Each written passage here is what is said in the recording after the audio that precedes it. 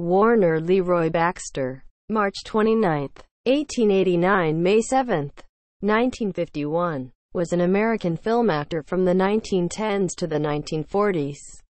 Baxter became known for his role as the Cisco Kid in the 1928 film In Old Arizona, for which he won the Academy Award for Best Actor at the Second Academy Awards.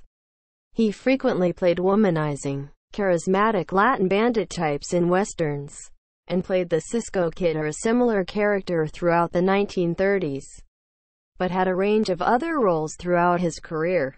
Baxter began his movie career in silent films with his most notable roles being in The Great Gatsby, 1926, and The Awful Truth, 1925. Baxter's most notable talkies are in Old Arizona, 1929, 42nd Street, 1932, Slave Ship, 1937, with Wallace Beery, Kidnapped, 1938, with Freddie Bartholomew, and the 1931 ensemble short film, The Stolen Jools.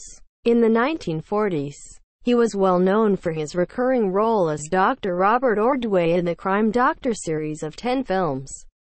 For his contributions to the motion picture industry, Baxter has a star on the Hollywood Walk of Fame.